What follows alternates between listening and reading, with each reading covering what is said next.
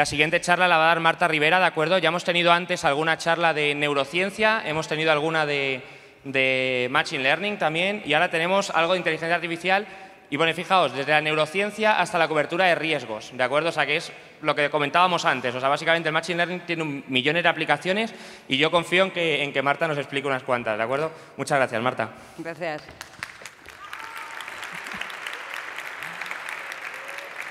Hola a todos, gracias por venir. Hola también a los del streaming. lo que os voy a contar hoy, efectivamente, es toda la historia de mi carrera profesional desde que empecé en físicas hasta últimamente que trabajo en finanzas.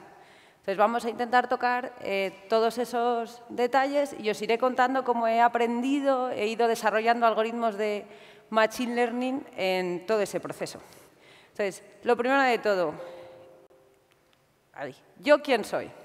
Bueno, yo hice físicas en la Autónoma de Madrid, pero me empecé a interesar por la biología muy pronto.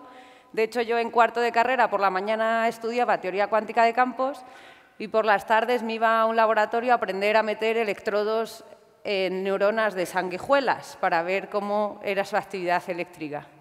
En el proceso de aprender a meter electrodos, me enseñé a mí misma a programar en MATLAB para ayudar a una compañera que necesitaba analizar esos datos.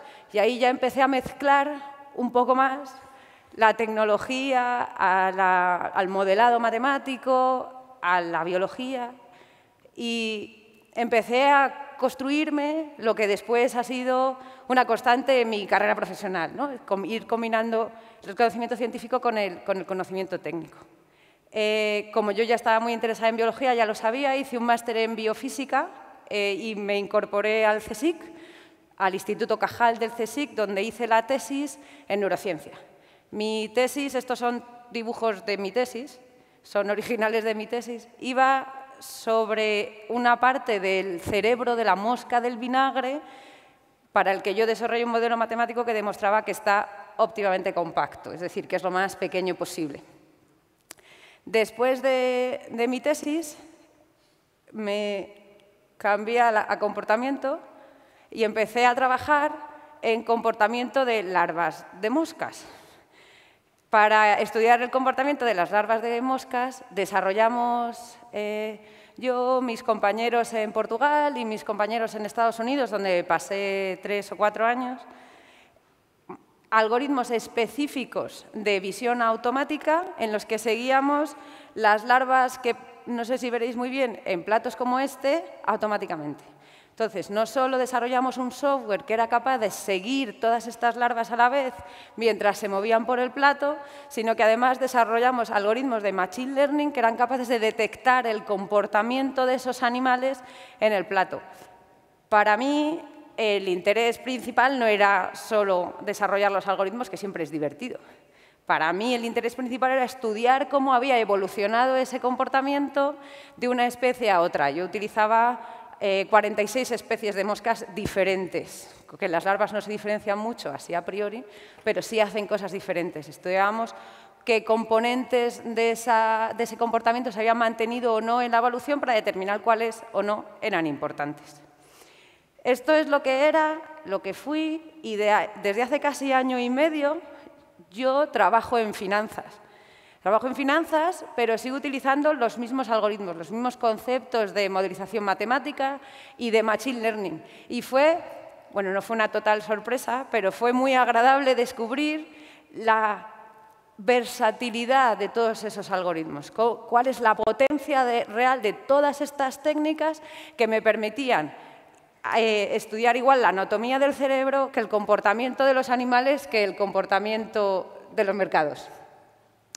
Os prometo que estos tres dibujos tendrán algún sentido en algún momento de las siguientes diapositivas, eh, pero yo os voy a contar cómo, exactamente yo aplico todos estos algoritmos en, en, la empresa en la que trabajo ahora, en ETS, y tengo aquí la referencia de la Carlos III no solo porque estemos aquí, sino porque yo soy profesora asociada de esta universidad. Saludo a mis alumnos que hayáis venido también. Entonces, hechas todas las presentaciones, ya puedo empezar a contaros lo que os quiero contar hoy. Lo primero que os voy a contar es un tema sobre el, que yo he trabajado cuando estudié comportamiento animal, que es la toma de decisiones. La toma de decisiones me permite además dos cosas. Me permite primero contaros cuál es mi visión sobre cómo funciona la inteligencia artificial, cómo funciona el machine learning. Y segundo, me permite contaros cómo podemos aprovecharnos de ese machine learning y por qué es tan intuitivo para nosotros. En general, la toma de decisiones para un león, para vosotros, para un, inversor, empieza con la toma de datos. En este caso, este león recibe información del medio que le rodea. Pues ha visto que ha salido la luna, que ha bajado la temperatura y que hay otros leones por ahí que están empezando a relajarse. El león lo que hace es combinar esa sensación, toda esa información sensorial, con su propio conocimiento, conocimiento que o bien ha adquirido a través de su propia experiencia o que ha aprendido de ver a otros. Lo combina con sus instintos, que no es más ni menos que el conocimiento de la especie que está eh, eh, codificado en vuestros genes, combina esas tres cosas y toma una decisión al respecto. En este caso, si es el momento de irse a dormir o es el momento de irse a cazar. Es decir, tenemos los datos que entran combinados con los conocimientos y se toma una decisión. Esta lógica que parece infalible e imbatible puede tener algunos problemas. Por ejemplo, vuestros instintos están equivocados. Por alguna razón, vuestra especie ha aprendido o ha conseguido mantenerse viva con unos instintos con una descripción completamente errónea del mundo. Esto puede ser la razón por la que, por ejemplo, las gallinas se van a dormir en mitad de un eclipse.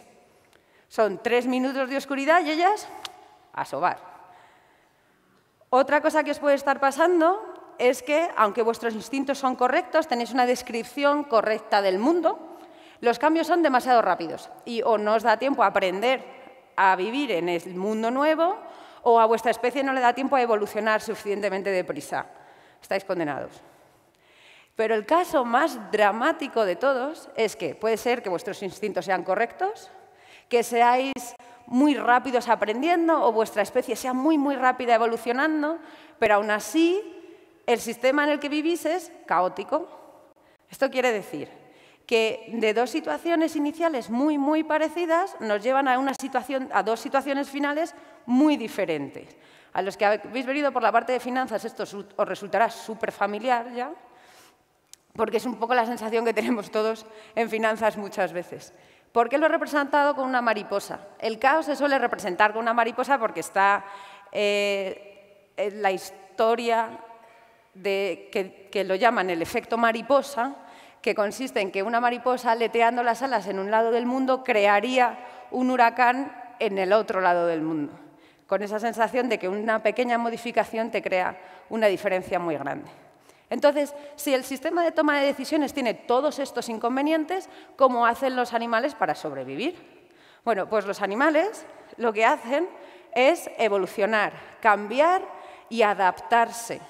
En este caso, este grupo de pájaros, estas especies de pájaros, lo que han hecho ha sido diversificar, que vuelve a ser otra vez un concepto muy, muy familiar para todos los que habéis venido por la parte de finanzas.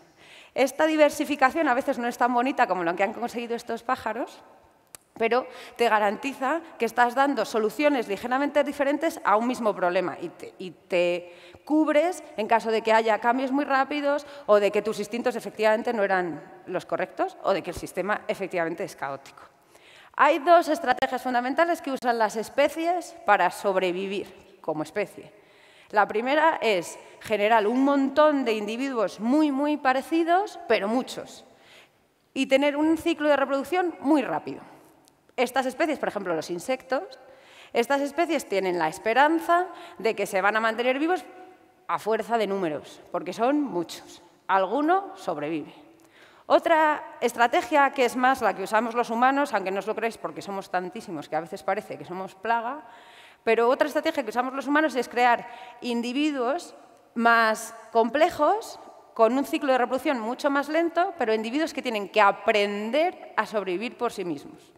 Los que somos sociales aprendemos también de los demás, pero ya la idea de adaptación se hace desde el aprendizaje, no se hace tanto desde puro número, pura genética, puro, eh, eh, pura evolución.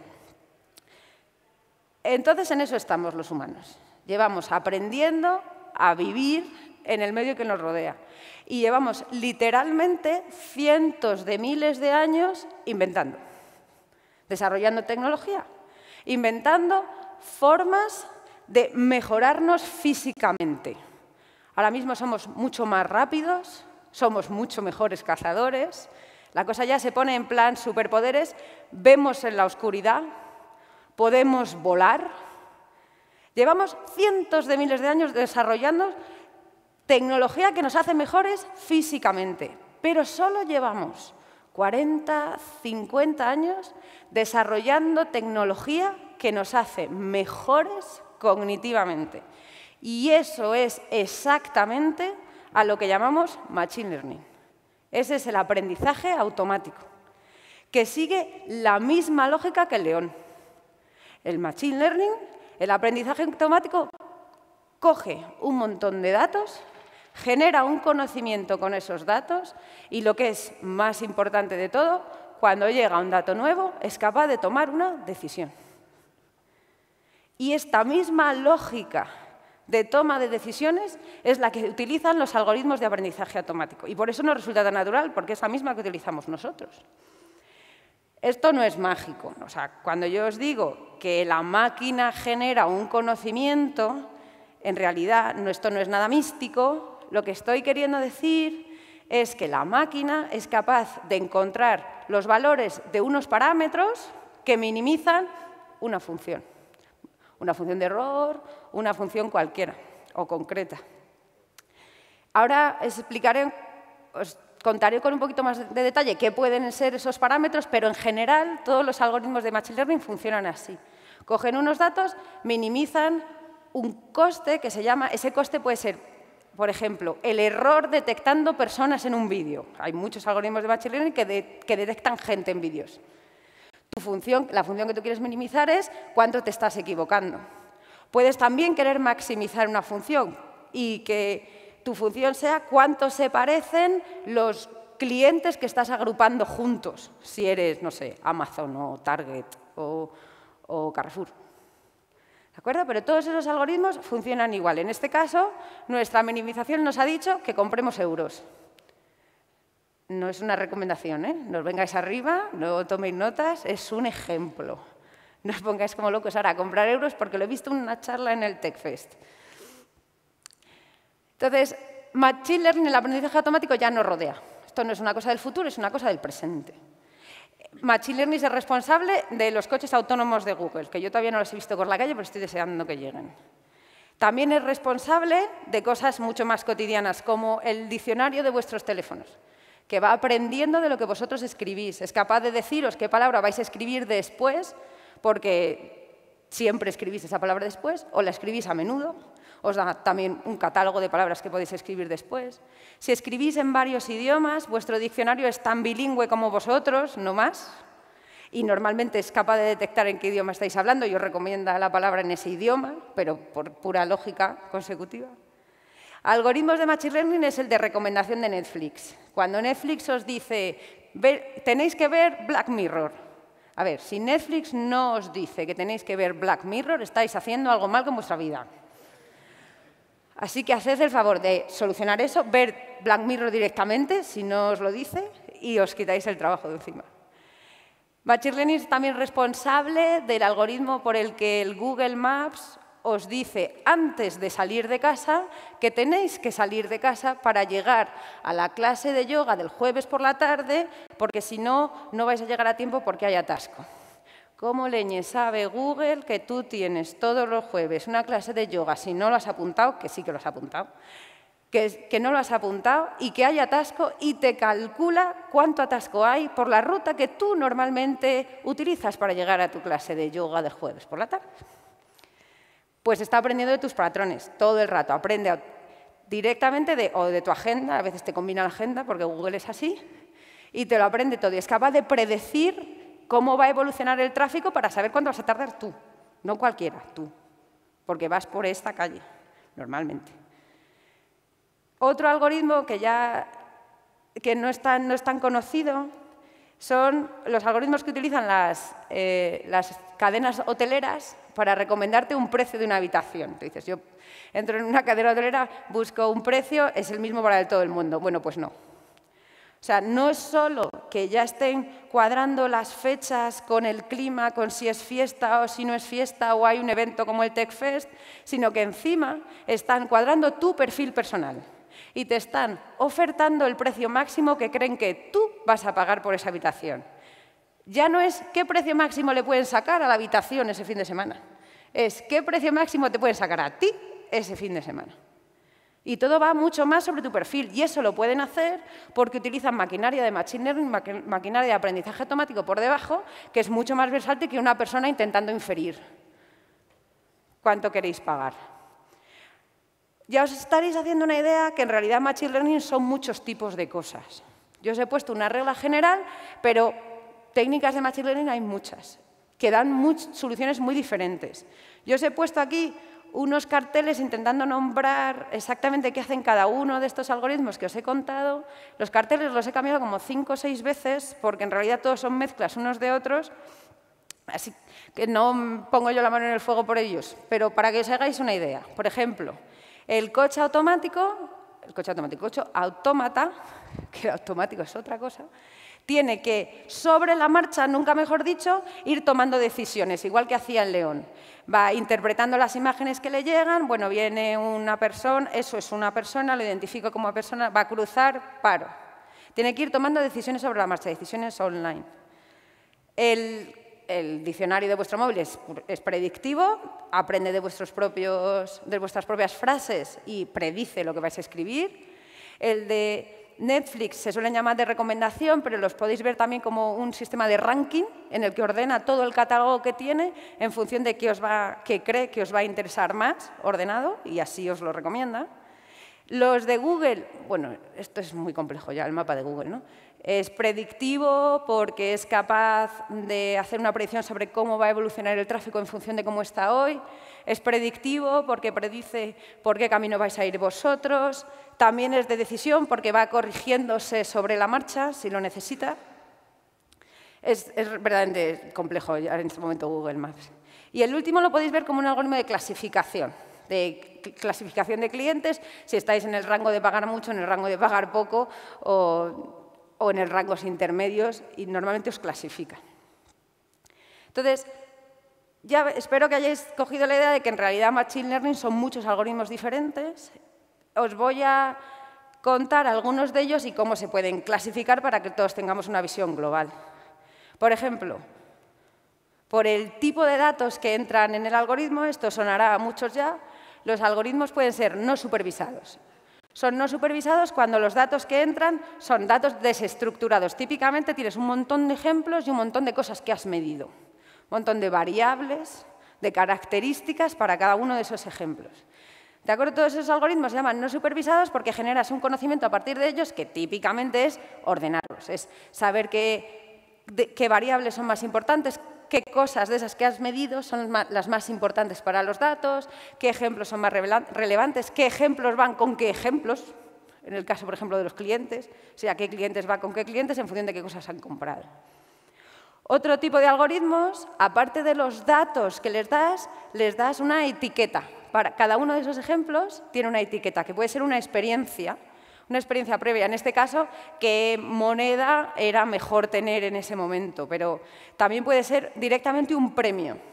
Depende de si son etiquetas o premios, a todos estos algoritmos se los llaman supervisados o reforzados en genérico. Y la capacidad que tienen estos algoritmos es que generan ese, conocimiento y cuando les das datos nuevos, ejemplos nuevos, sin etiqueta, son capaces de ponerle una etiqueta, de predecir o de clasificar esa etiqueta seguimos con lo del euro, pero que de verdad que es un ejemplo. Hay otro tipo de clasificación por la tarea que se realiza. Ya hemos comentado varias, ¿no? Puede ser una tarea de ranking, de ordenación, quién va a ser el primero, el segundo, el mejor, el peor, los vas ordenando. simplemente visualización, luego os enseñaré un ejemplo concreto. Lo que quieres es ver los datos. Tengo esta maraña imposible, enséñame algo interpretable. Hay mogollón de algoritmos. eh, que simplemente son de visualización. Los hay de predicción, como ya hemos visto muchos, nos van a decir qué va a pasar en el futuro en función de lo que ha pasado en el pasado. Los hay de regresión, la regresión que sonará a muchísimos es un algoritmo de Machine Learning, es un aprendizaje a partir de datos. Tenemos también algoritmos de clasificación, clásicos. Podéis pensar en más ejemplos. ¿eh? Esta es una lista corta de los, más, de los más habituales, de los más generales. Y finalmente, hay tipos de algoritmos por la arquitectura. Exactamente cuáles son los parámetros que estamos minimizando. Los he dividido en tres grandes grupos, pero he dejado tres puntos aquí para los tiquismiquis. Si encontráis algún ejemplo que no quepa entre estos tres, pues ahí a los tres puntos. Ya, a mí ya se me ha ocurrido uno. Según hice la diapositiva, se me ocurrió uno. Por eso los puse. Tenemos, por ejemplo, las redes neuronales, que os sonará a todos mucho. Exactamente qué parámetro aprendemos, qué parámetro optimizamos. En una red neuronal, cada uno de estos simbolitos es una transformación sencilla de los datos que le entran. Fin. ¿Qué aprendemos? ¿Cuánta información va de transformación a transformación? ¿Cuánta información pasa de ese círculo a ese cuadrado? Ese es el parámetro que aprendes. Para minimizar pues eso, el error de predicción, eh, cómo de condensadas tu clasificación, lo que queráis. Depende del algoritmo, depende de la tarea que estéis utilizando. Esas son las redes neuronales. Luego tenemos algoritmos de espacios vectoriales. Estos ya son un poquito más eh, abstractos, pero vamos a ver si nos entendemos. Os he dicho antes que los datos típicamente son ejemplos y cosas que has medido. Si tú ves las cosas que has medido como coordenadas de un espacio, si fueran tres, pues lo visualizamos muy bien todos. Cada ejemplo es un punto en el espacio. Si son 500, pues ya no lo visualizamos todos. Yo tampoco, ¿eh? No os creáis que yo tengo capacidad mágica de ver en 500 dimensiones. Pero es esa misma idea. Entonces, ¿qué aprendemos aquí? Aprendemos transformaciones de ese espacio. Si ensanchamos, si alargamos, si combinamos columnas, si rechazamos coordenadas porque no son útiles, porque están repetidas. Esos son todo este tipo de, algoritmos. Y por último, hay otro tipo de algoritmos que son los árboles de decisión, árboles aleatorios de decisión, árboles de decisión en general. ¿Qué parámetro aprendemos aquí? Pues lo que aprendemos es, en un árbol de decisión, eh, llegamos a una bifurcación. Y la bifurcación nos dice, si el valor de la variable 1 es alto, te vas a la izquierda, y si es bajo, a la derecha. Cuando llegas a la segunda bifurcación, imagínate que es alto, nos vamos a la derecha, llegas a la segunda bifurcación y ahora te dice, si el valor de la variable quinta es alto, te vas a la izquierda, y si es bajo, te vas a la derecha, y vas recorriendo el árbol, hasta que llegas al final. Y al final tienes una etiqueta, la etiqueta puede ser pues, la clase o puede ser un valor concreto de regresión o un orden en el ranking o un valor sobre el que luego haces un ranking. Lo que aprendemos en un árbol de decisión es exactamente qué variable eh, a qué variable le preguntamos en cada, toma, en cada intersección y cuál es el umbral para girar a la derecha o a la izquierda. ¿Vale? No siempre son binarios, puede haber más decisiones, pero en genérico.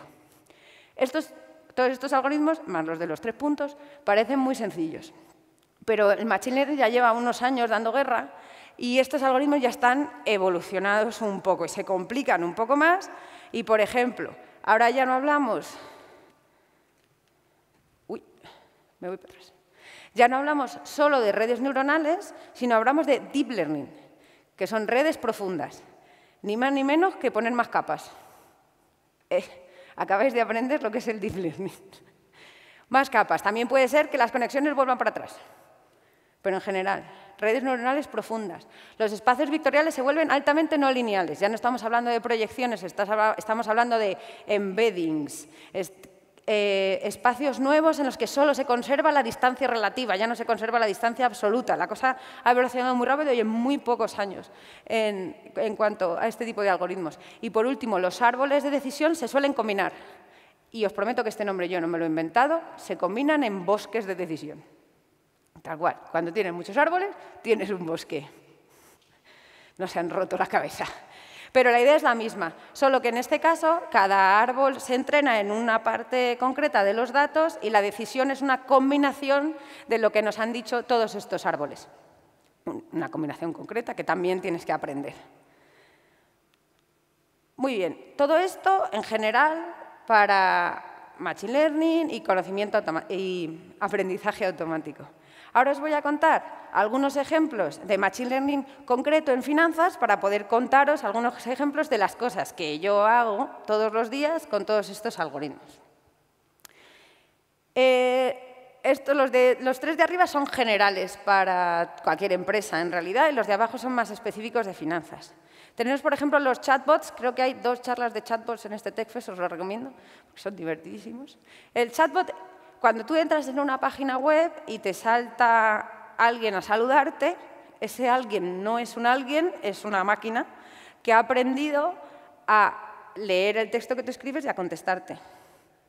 Son algoritmos muy evolucionados que han pegado, que han hecho una evolución brutal en muy poco tiempo, han mejorado mucho en muy poco tiempo y ahora mismo son constantes en todas las empresas, también para los bancos. Las ventas personalizadas, cuando tú entras en Google, que ya a veces es hasta insultante, las ventas personalizadas que te saltan directamente los anuncios de cosas que acabas de comprar, los que no son muy buenos, o de que vas a querer comprar en un futuro los que son un poco mejores. Hay un caso de hace algunos años de, de sistema este de ventas personalizadas que te hacen con tu perfil, que le pasó a Target. No sé si lo conocéis. Eh, Target, la, red de, hipermercados americana, aunque para allí son supermercados normales, pero para nosotros son hipermercados, tenía una tarjeta de puntos igual que los supermercados de aquí. Entonces van haciéndote un perfil de las cosas que, compras y hacen perfiles de gente. Target descubrió muy rápidamente que era muy fácil descubrir si, una mujer estaba embarazada, porque dejaba de comprar cerveza, compraba eh, eh, cremas sin olor, y dejaba de comprar preservativos. Y fue una de las primeras, eh, uno de los primeros ejemplos de venta personalizada, entonces Target lo que hacía era mandarte cupones de descuento de cosas de embarazada. A saber, cualquier cosa de embarazada que se pueda ocurrir. ¿Y qué pasó? Que pues que en una ocasión, al principio de todo esto, eh, Target demandó cosas cupones de cosas de embarazada a una chavala de 16 años y apareció su padre como un basilisco en la tienda, que cómo le habían mandado eso a su niña. Bueno, resultó que la niña estaba embarazada de verdad, que pobre muchacha con ese padre, pero Target ahora, aparte de disculparse, supongo, no sé por qué, porque acertaron, lo que hace ahora es que te combina los cupones te pone los cupones para ti y un montón de cupones aleatorios para que no te asustes. Se ha vuelto tan bueno que es como el Google Maps, que asusta. Entonces, usan, se empeoran a sí mismos, aunque ellos saben la verdad. Saben que vas a terminar eh, comprando la crema que te interesa con el perfil que te han hecho. Y los demás, pues, de relleno. Eh, general para todas las empresas también el análisis de sentimiento. La mayoría de las empresas analizan su impacto de marca en redes sociales automáticamente. Esto es general. Además, en finanzas puedes utilizar análisis de sentimiento para hacer una macroencuesta eh, casi gratis, analizando si el mercado está optimista o pesimista en función de lo que está hablando la gente sobre él. Es una, aplicación específica de finanzas, pero en general, el análisis de sentimientos se puede hacer para cualquier empresa. Y mucho más específicos. Tenemos, por ejemplo, los robo-advisors, que están ahora súper de moda, que te hacen en función de tu perfil, de perfil de riesgo que quieras asumir y de tu presupuesto, pues te hacen una cartera que va evolucionando, una cartera automáticamente, y tú la inviertes si quieres, claro. Hay algoritmos de trading algorítmico, de trading automático. Estos típicamente funcionan o se utilizan, no es que funcionen, es que se utilizan para eh, hacer trading intradía, que se llama, trading muy, muy rápido, mucho más rápido de lo que un trader normal es capaz de analizar el mercado, comprar, vender, comprar, vender, lo hacen automáticamente. Esto está al orden del día.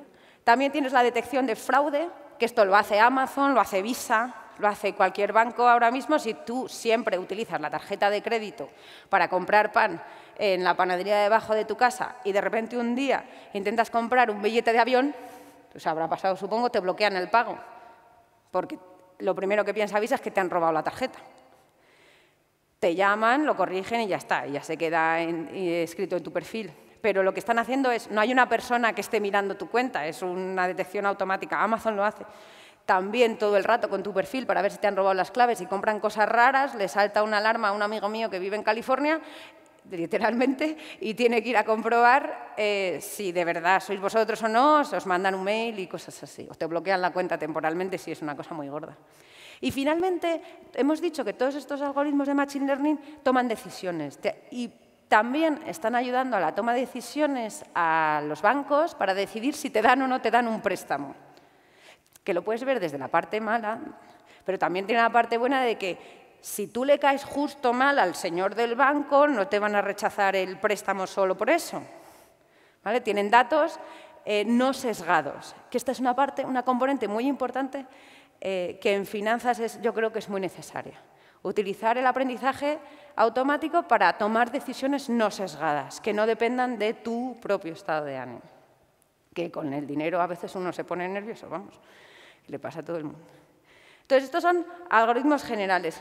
Y ahora os voy a contar algunos ejemplos de cosas que podemos hacer nosotros en, ETS con estos algoritmos.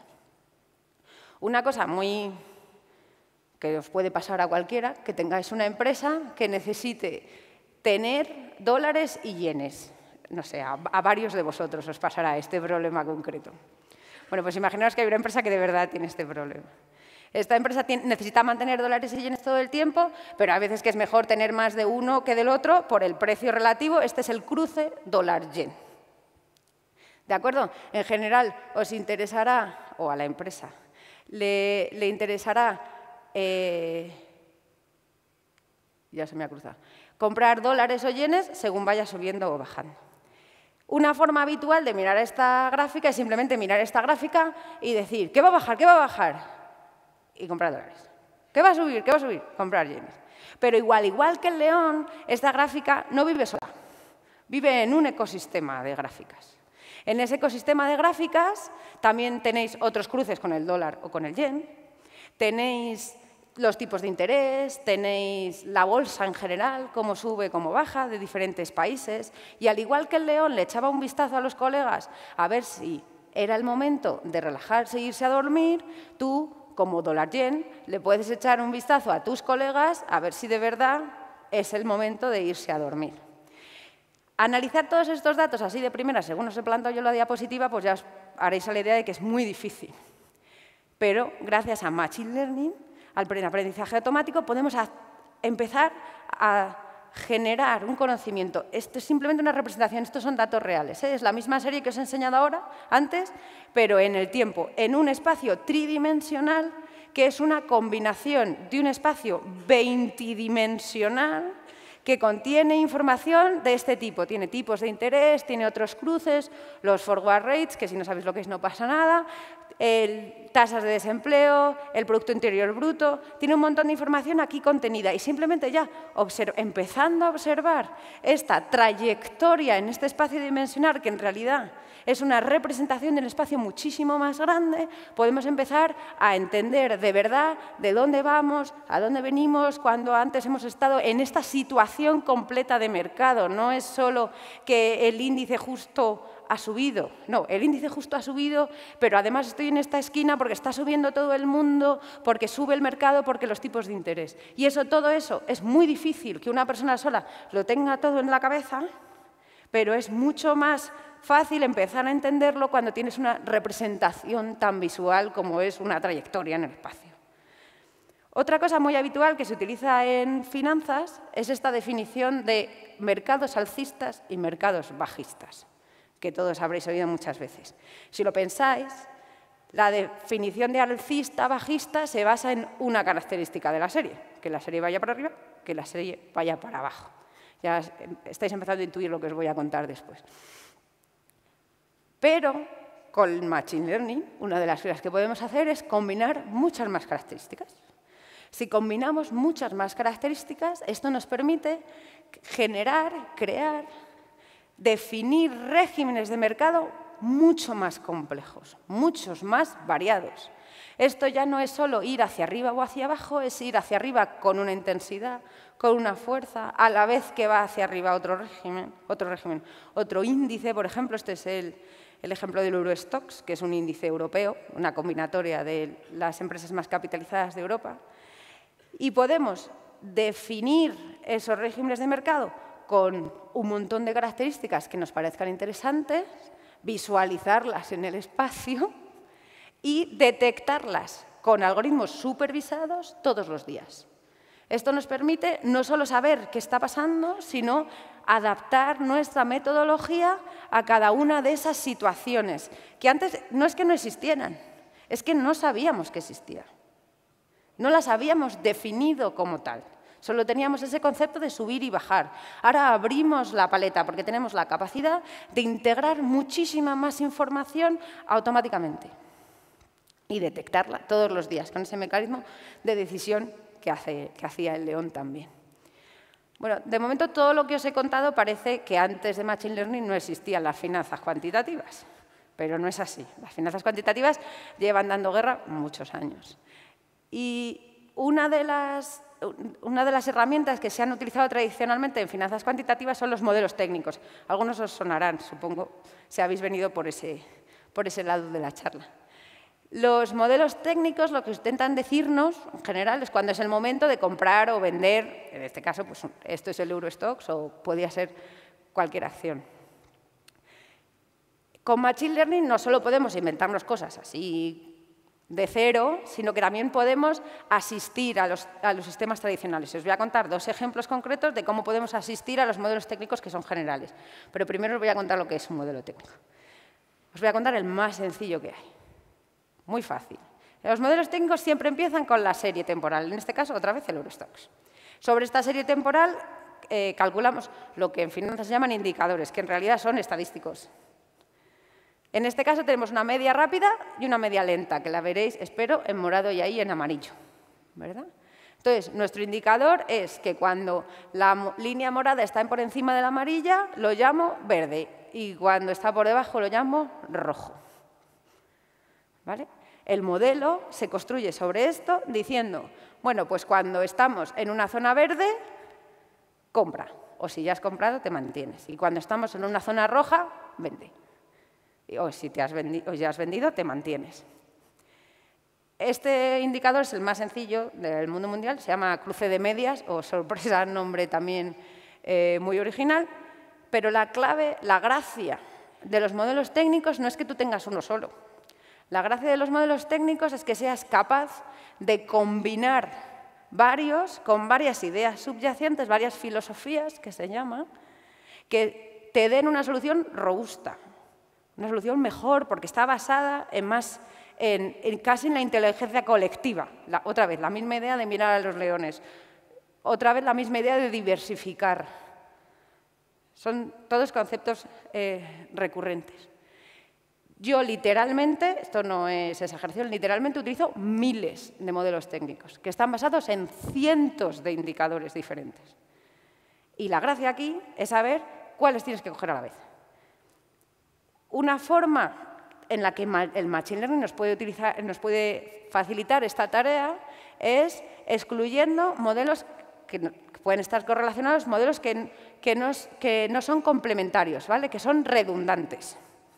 ¿Cómo? Pues partimos, por ejemplo, del comportamiento de todos esos modelos para la serie que hemos visto antes. Esto no hay forma humana de mirarlo. Tienes un montón de series, no sabes qué hacer con ellas. Una transformación muy sencilla de este espacio nos permite visualizarlos y ya todo empieza a tener un poco más de sentido. Estos son proyecciones en las que vemos claramente las trayectorias. Vemos trayectorias, vemos puntos de colores que están juntos, qué puntos están juntos, cerca de qué. Podemos resumir esta visión todavía un poco más y ya tenemos una preselección de modelos que nunca, de filosofías que nunca deberían ir juntas porque, porque son redundantes. Ya nos ha hecho media tarea. Pero Machine Learning puede ir un paso más allá, porque además podemos seleccionar automáticamente esos modelos. Podemos hacer una cosa tan loca como reducir a dos, en dos dimensiones. Este es un espacio 6.000 dimensional. Ahí lo dejo. En el que podemos visualizar en dos dimensiones, gracias a técnicas muy sofisticadas de, de transformación de espacios, podemos ver qué modelos están juntos a qué modelos. Tenemos aquí cinco ejemplos. Y estos son datos reales, ¿eh? esto es una figura que he sacado yo de mis estudios.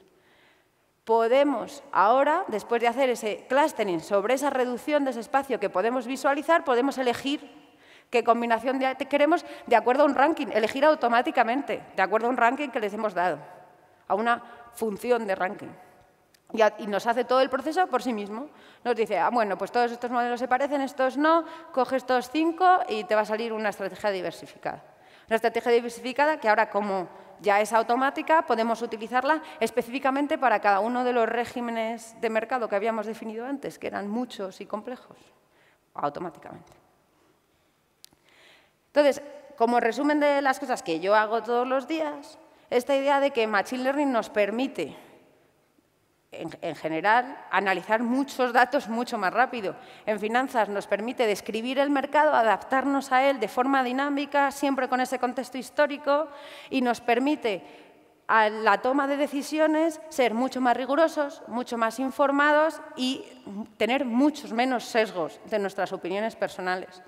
Porque al final del día, lo importante, igual que, que hacían los pájaros, es cambiar, adaptarse y evolucionar tal como la naturaleza nos ha enseñado.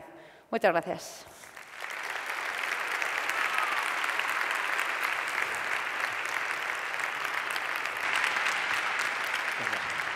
Pues muchas gracias, Marta. Tenemos cinco minutos para hacer alguna pregunta. Si alguien quiere preguntar algo.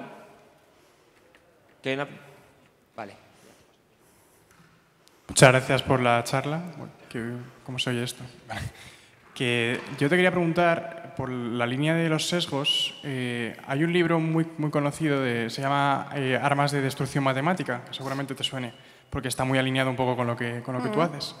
Y te quería preguntar, claro, tú por ejemplo que manejas esas cosas, ¿no? O cuando has hablado, por ejemplo, de, de los que eligen cuando, o sea, cuando te quieren dar un préstamo, cuando lo eliges, ¿no? En ese libro te muestra muy bien que hay veces que eh, se han introducido sesgos por parte de, los que crean el modelo, eligen las features, ¿no? y que igual pues al final no han elegido si era negro o no, pero en la práctica sí porque han elegido regiones y tal. Entonces, eh, en tu ámbito y en general, pues ¿cómo crees que eso se puede un poco solucionar y si crees que estamos evolucionando? Y luego, de cara a la interpretabilidad de los modelos también, ¿no? ¿Por qué ha tomado esta decisión? O cosas así. O sea, desde el punto de vista de los egos, efectivamente, lo, la máquina automática aprende de los datos que les da, que tú le das. Si tus datos son sesgados porque incluyen información sesgada, pues la máquina no puede hacer nada, o sea, no puede luchar contra eso. Hay un ejemplo clásico, eh, que no sé si sale en ese libro, sobre detección de, imágenes. Hay una competición mundial muy habitual de detectar cosas, eh, personas y eh, objetos en imágenes. En las, competiciones, en los congresos de Machine Learning es, muy habitual que haya gente compitiendo para mejorar scoring sobre, sobre eso. Y hay un ejemplo clásico porque el algoritmo, si tú le das fotos de gente negra, las identifica como orangutanes, que es una cosa terrible, que no tiene ni pies ni cabeza, y se dieron cuenta de que eso estaba pasando porque en el test de entrenamiento solo había blancos, porque los que los habían hecho habían puesto fotos de personas y habían puesto sujeto, y el de nadie más. Entonces, los sesgos son muy importantes, yo creo que vamos mejorando porque hablamos de ello, porque ya queda claro que, que eso no puede pasarte. Y por hablar de ello y ser conscientes de ello, yo creo que vamos a hacer mejores algoritmos. Pero si tus datos son sesgados, el algoritmo no puede hacer nada. Está condenado. Otra cosa es que tú de verdad quieras utilizar el algoritmo para que sea no sesgado. Entonces estás haciendo un trabajo terrible. Yo creo que la parte de selección de datos, de exactamente qué quieres que, el algoritmo aprenda, es importante. Y, va en esa línea. Y luego de la interpretabilidad, según se hacen los algoritmos más complejos o menos interpretables. O sea, a mí otro ejemplo que también me gusta mucho, también de la parte de, análisis de imagen, hay salió un paper hace dos o tres años, la que tenían un montón de fotos que, que estaban clasificadas, pues era una foto de un coche rojo y ponía coche rojo. Digo, qué guay. O de esos que te generan la frase entera, ¿no? Coche rojo en la pradera. O Ford Mustang rojo en la pradera. Ya, la cosa se, ha ido, se, les ha ido, se les está yendo de las manos. Y cogían la misma foto y la modificaban algunos píxeles al azar, que a ti tú no lo ves. Tú ves las dos fotos y dices la misma foto.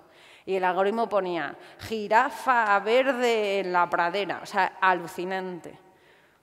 Porque el, el algoritmo había aprendido algunas propiedades de esa foto pero, una, pero era un sistema caótico, como hablábamos antes. No era suficientemente robusto y por eso ahora se utilizan técnicas de aprendizaje de entrenamiento de las redes, que a mí me parecen marcianas, pero que funcionan guay, como cada cierto tiempo borrar la mitad de lo que se ha aprendido. Y, pero a cero, ¡pum! Y vuelves a empezar. Y ese algoritmo, que a mí me parece de ida de olla absoluta, funciona. Y estoy segura de que lo, no lo inventaron, lo descubrieron. Que alguien la lió con un punto y coma en algún sitio y dijeron, uy, se aprende mucho más rápido, uy, vaya bug, pues funciona, pues lo publicamos. Estoy segura, porque es que eso no se te puede ocurrir, o sea, no, es demasiado complicado.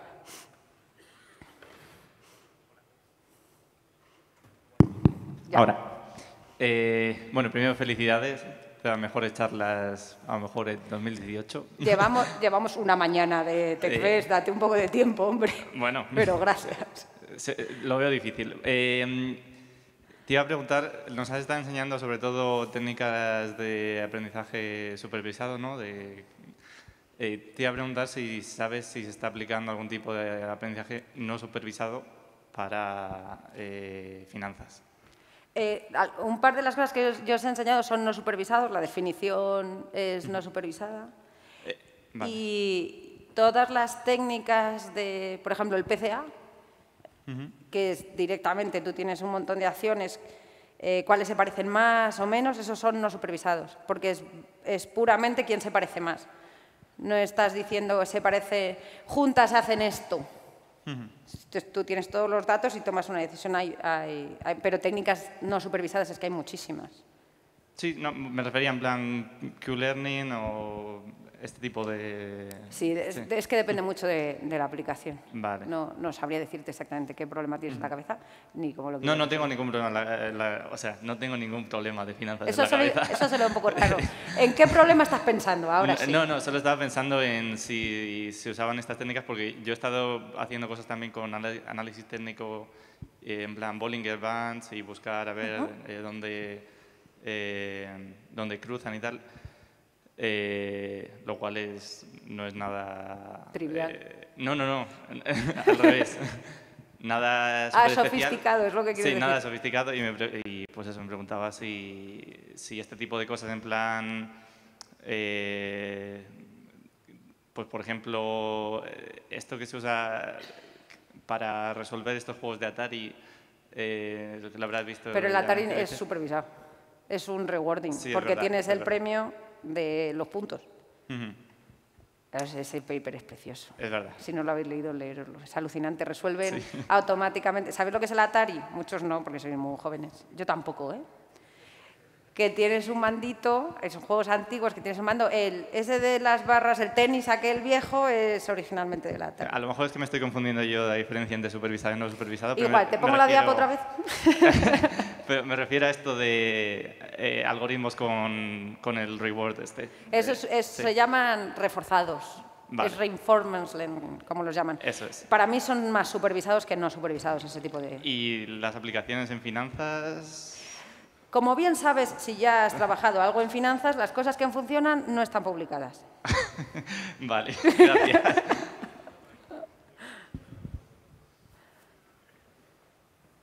Vale, tenemos una última pregunta. Hola. Hace unos meses trabajé en un proyecto eh, de dar préstamos y se, se vivió una pequeña revolución porque hubo un momento en el que un algoritmo de Machine Learning era capaz de dar un préstamo con mucha más fiabilidad y mucho más rápido que una persona, ¿no? Sí. Y eso daba un poco de miedo porque ¿no? nos encontramos con dos cosas, es que lo daba más barato, lo daba mejor, ¿no? Y además no sabíamos explicarnos por qué, porque era tan complejo el sistema que la propia red neuronal no, era capaz de explicarnos de una forma humana por qué lo hacía, ¿no? Em, esto a, escala, a futuro, dentro de 15 años, ¿podrías mojarte un poco y decirnos cómo crees que va a evolucionar la cosa a nivel social y a nivel de trabajo? Pues, o sea, al nivel de la interpretabilidad, que es una pregunta que ha hecho eh, aquí compañero también, a nivel de interpretabilidad yo creo que tenemos una deuda pendiente. Pero tenemos una deuda pendiente porque hasta ahora nos hemos concentrado en que las cosas funcionen. Ahora, ¿para cómo? Esto ya es otro tema. Y cuantas más capas le añadas a Deep Learning, más complicado saberlo. Yo, yo que he trabajado muchos años en, finanza, o en finanzas, en neurociencia, intentando averiguar cómo es posible que una mosca vuele pesando miligramos y sea capaz de esquivarte pesando miligramos, es un problema que todavía no hemos resuelto. Y llevamos, desde que Caljal inventó la neurociencia, más de 100 años. Las neuronas humanas, las, las, neuronas animales naturales son muchísimo más complejas que las artificiales, pero el problema es del orden, porque tienes que generar intuiciones para, por cosas que necesariamente no son intuiciones. Yo te puedo plantar todas las ecuaciones matemáticas que describen perfectamente la red neuronal porque tengo todos los pesos y sé qué transformaciones están haciendo todo. El problema es que tú tienes que entender una propiedad emergente de eso, porque es lo que estás midiendo, es una propiedad emergente de un montón de subpiecitas que, aunque yo te las pinte todas, vas a seguir sin saber interpretarlo. Entonces, yo no sé si el problema de la interpretabilidad ya no es en el sistema en sí mismo, que yo te puedo describir al máximo detalle porque lo tengo en el ordenador y lo he creado yo, o que somos nosotros, que es que no nos da. Entonces, yo creo que hay, hay ese compromiso, ¿no?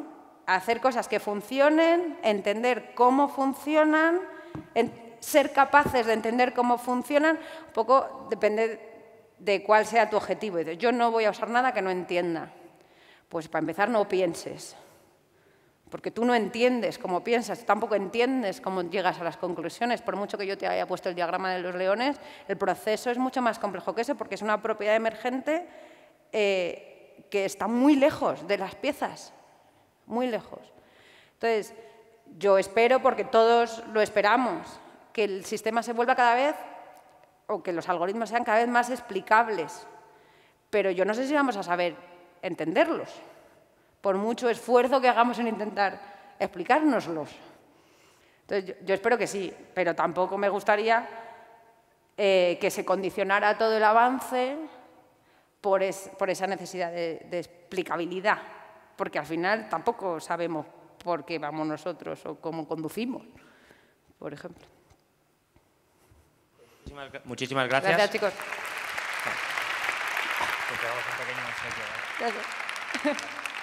Bueno, recordad que ahora tenemos la comida, ¿de acuerdo? Luego a las tres y media nos volvemos a ver en todos los tracks. En este en concreto habrá una charla directamente sobre smart contracts y blockchain, ¿de acuerdo?